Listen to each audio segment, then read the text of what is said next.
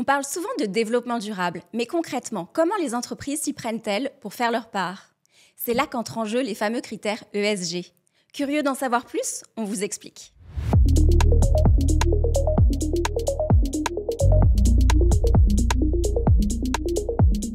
Le développement durable, vous voyez très certainement ce que c'est, au moins dans l'idée. Mais ce dont on parle moins, c'est ce qui pourrait vraiment nous permettre de tendre vers ce modèle. Et à l'échelle des entreprises, croyez-moi, c'est un sacré chantier.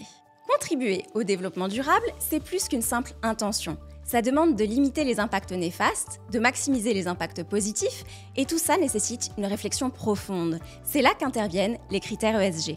Les critères ESG, ce sont des outils qui évaluent comment une entreprise intègre les enjeux du développement durable dans sa stratégie. En d'autres termes, est-ce qu'elle prend vraiment ces sujets au sérieux et cherche à s'améliorer? Aujourd'hui, les critères ESG ne sont plus juste un outil d'auto-évaluation pour les entreprises, ils sont devenus un critère clé pour les investisseurs. Pourquoi?